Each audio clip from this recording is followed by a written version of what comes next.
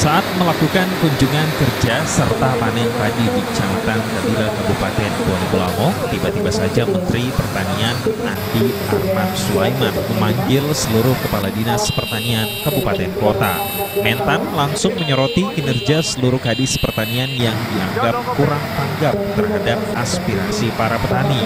Sorotan ini terkait permintaan alat-alat mesin pertanian di Kementan yang berasal dari daerah.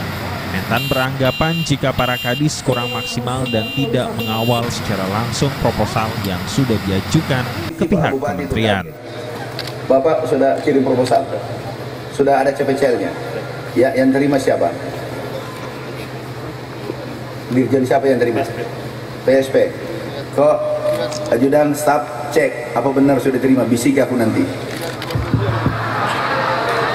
Yang satu, Pak Kadis sudah minta. Siapa yang dikasih? Sudah ada di disposisi saya. Nah belum pernah saya kulihat itu surat. Tadi siapa mana lagi? Menteri Pertanian juga mengingatkan agar para kadis pertanian serius dalam mengajukan baik permintaan al-sintan, bibit, pupuk maupun anggaran. Jika tidak, bukan tidak mungkin anggaran dan pendanaan tersebut akan beralih ke daerah lain. Ali Rajab, Mimosa TV, mewartakan.